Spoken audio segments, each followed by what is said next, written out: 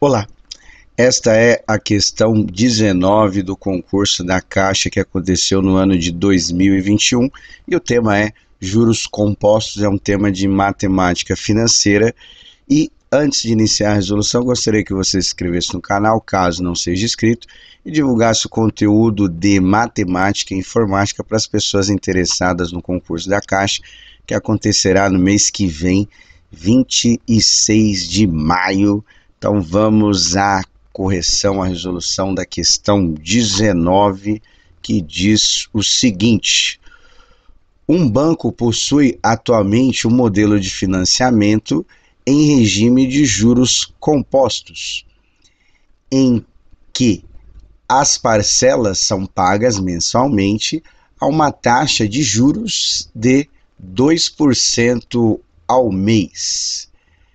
Para um certo perfil de clientes, o banco é, pretende possibilitar o pagamento da dívida a cada três meses. Né? Então a taxa de juros está ao mês aqui pediu a três meses. Há uma taxa de juros trimestral equivalente na prática do modelo atual, trimestral, três meses, mesma coisa, né? A melhor aproximação é, do valor da taxa de juros trimestral, que é o valor aí da taxa de juros é, de três meses, certo? É, desse novo modelo de financiamento é importante é a aproximação, a gente já sabe que não vai ser um valor exato, tá bom?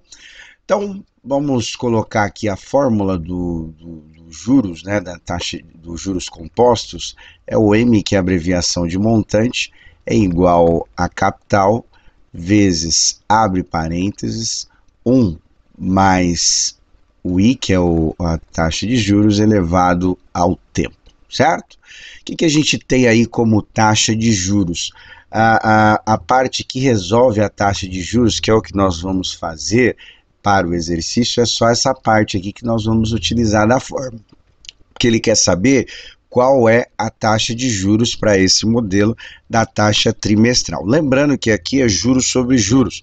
Talvez dá uma vontade aí de fazer 2% três vezes, que aí você vai encontrar alternativa 6%, mas esse é o sistema de juros simples. A taxa dos juros compostos, ela é sempre aplicada ao mês anterior, então sempre tem uma variação é, comparada com os juros simples. Então, a gente vai fazer só essa parte aqui da, da taxa, né? Esse 1 representa em decimal 100% e a taxa de juros ele falou que é 2%. Em decimal fica 0,02 e isso vai ser elevada elevado a, a, 3, a 3, né? Porque é 3 meses o juro trimestral. Somando esses dois camaradas aqui, nós vamos ter o seguinte, nós vamos ter 1,02 elevado a 3. Então, resolvendo isso daqui, nós vamos encontrar a taxa de juros trimestral.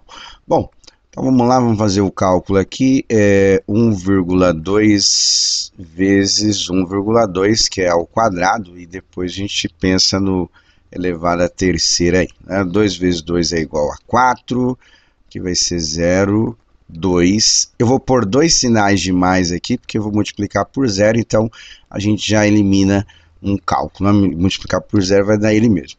1 vezes 2 é igual a 2, 1 vezes 0 dá 0 e 1 vezes 1 é igual a 1.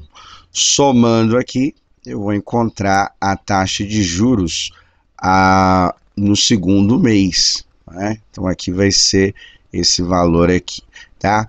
E aí vou contar as casas decimais. Então aqui nós temos quatro casas decimais, então vai dar aproximadamente um pouco mais que 4% a mais, tá? Depois a gente vai entrar com mais detalhes.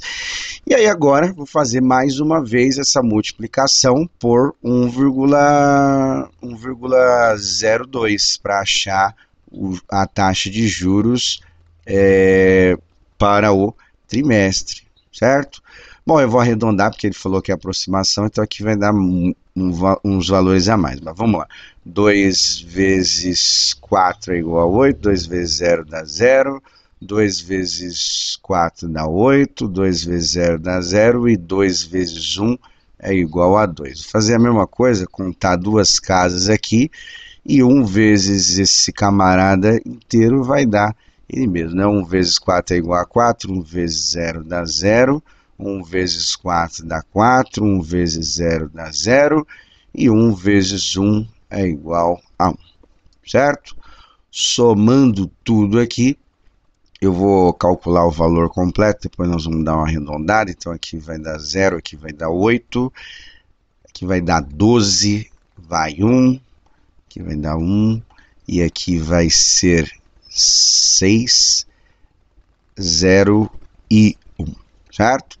Contando as casas decimais, agora no total são 6, né? Duas do, do número de baixo e 4 do número de cima. Então a vírgula vai ficar ó, uma, duas, três, quatro, cinco, seis aqui, certo? Bom, para o exercício, como é uma aproximação, então eu vou deixar só essa parte aqui, só quatro casas da vírgula, vou usar só essa parte aí, eu vou explicar para vocês por que usando as alternativas que estão aí. Então, calculando aí 1,02 elevado à terceira potência vai ser 1,061 2. Tá? E aí o que, que a gente vai fazer? Como essa escrita está em decimal, então eu vou transformar isso aqui para um valor percentual, porcentagem. E a gente, lembrando, a porcentagem divide por 100. Então eu vou colocar esse número aqui, certo? Que deu aí o número decimal, dividido por 100, para a gente ver quantos por cento isso representa. E aí, contando duas casas decimais, nós temos 106,12%. Isso seria a taxa de juros trimestral.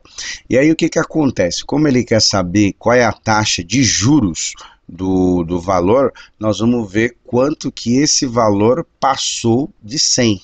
100%, porque 100% é o total. E a gente vai perceber que isso aqui deu 106,12, obviamente passou 6,12% e esse corresponde ao aumento da taxa de juros, que corresponde à alternativa C, tá bom? Então é isso para a questão 19. Um abraço a todos, até.